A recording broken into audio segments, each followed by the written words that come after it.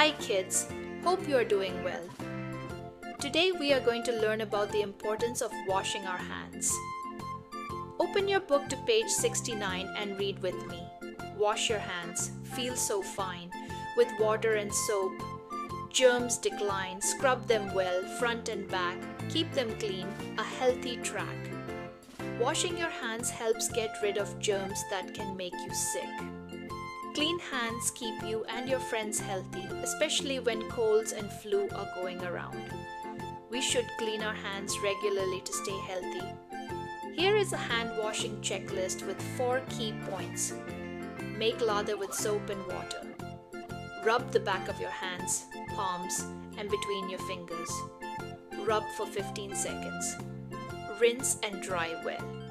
Kids, I hope you understand the importance of washing your hands.